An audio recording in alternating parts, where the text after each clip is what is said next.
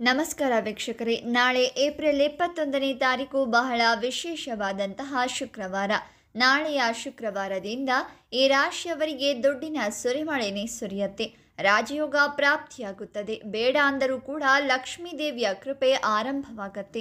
ಹಾಗಾದರೆ ಆ ರಾಶಿಗಳು ಯಾವುದು ಹಾಗೆ? ಅವುಗಳಿಗೆ ಯಾವೆಲ್ಲ ಲಾಭ ದೊರೆಯಲಿದೆ ಅಂತ ಈ ವಿಡಿಯೋದಲ್ಲಿ ನೋಡೋಣ ಬನ್ನಿ. ಅದಕ್ಕೂ ಮುನ್ನ ನೀವು ಕೂಡ ಲಕ್ಷ್ಮೀ ದೇವಿಯ ಭಕ್ತರಾಗಿದ್ದರೆ ಈಗಲೇ ವಿಡಿಯೋಗೆ ಒಂದು ಲೈಕ್ ಮಾಡಿ, ಹಾಗೆ ನಮ್ಮ ಚಾನೆಲನ್ನು ಸಬ್ಸ್ಕ್ರೈಬ್ ಮಾಡಿ, ಪಕ್ಕದಲ್ಲಿ ಬರೋ ಬೆಲ್ ಐಕಾನ್ ಕ್ಲಿಕ್ ಮಾಡಿ, ಆಲ್ ಅಂತ ಸೆಲೆಕ್ಟ್ ಮಾಡ್ಕೊಳ್ಳಿ. ಶ್ರೀ ಸಾಯಿ ಅನ್ನಪೂರ್ಣೇಶ್ವರಿ ಜ್ಯೋತಿಷ್ಯಾಲಯ ಪಂಡಿತ್ ರಾಮಚಂದ್ರ ಭಟ್.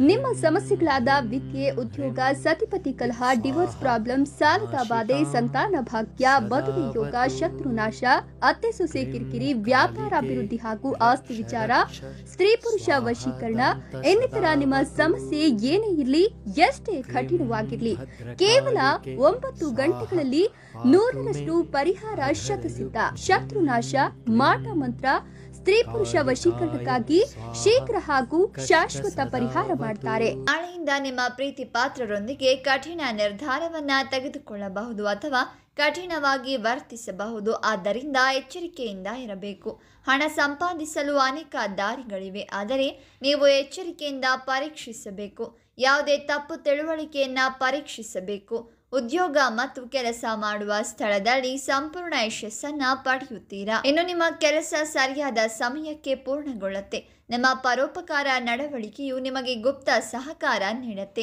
ನಿಮ್ಮ ಮನೆಯ ಅಗತ್ಯತೆಯನ್ನ ನೋಡಿ ನಿಮ್ಮ ಮಡದಿಗೆ ಯಾವುದೇ ಅತ್ಯಂತ ಅಮೂಲ್ಯವಾದ ವಸ್ತುವನ್ನ ಖರೀದಿ ಮಾಡಬಹುದು. ಇದು ನಿಮ್ಮ ಆರ್ಥಿಕ ಪರಿಸ್ಥಿತಿಯನ್ನ ಬಿಗಿಗೊಳಿಸುತ್ತೆ. ಯಾವುದೇ ಸ್ವಲ್ಪ ಲಾಭವನ್ನ ಪಡೆಯುತ್ತೀರಾ? ಸ್ವಲ್ಪ ಜಾಗೃತಿಯಾಗಿರಿ ಕುಟುಂಬದವರ ಮಾತನ್ನ ಕೇಳಿ ನೀವು ಸ್ವಾರ್ಥಿ ಆಗೋದ್ರಿಂದ ಆಪ್ತರು ನಿಮ್ಮಿಂದ ದೂರವಾಗುವ ಸಾಧ್ಯತೆ ಇದೆ. ಸ್ವಲ್ಪ ಎಚ್ಚರಿಕೆ ವಹಿಸೋದು ಬಹಳ ಮುಖ್ಯ. ನೀವು ಮಾಡಿರುವ ಸಾಲವನ್ನ ತೀರಿಸುವ ಸಮಯ ಅತಿ ವೇಗವಾಗಿ ಬರ್ತಾ ಇದೆ ಅಂತ ಹೇಳಬಹುದು. ಇನ್ನು ನೀವು ಲಕ್ಷ್ಮೀ ದೇವಿಯ ಮೊರೆ ಹೋಗೋದು ತುಂಬಾನೇ ಮುಖ್ಯ. ಅದರ ಜೊತೆಗೆ ನೀವು ಉತ್ತಮ ಕೆಲಸವನ್ನ ಮಾಡಬೇಕು. ನಿಮ್ಮ ಒಳ್ಳೆ ಸಮಯ ಬಂದಿರೋದ್ರಿಂದ ನೀವು ಸಾಲವನ್ನ ತೀರಿಸುತ್ತೀರಾ? ನೆಮ್ಮದಿಯ ಜೀವನ ನಿಮ್ಮನ್ನ ಹಿಂಬಾಲಿಸುತ್ತೆ.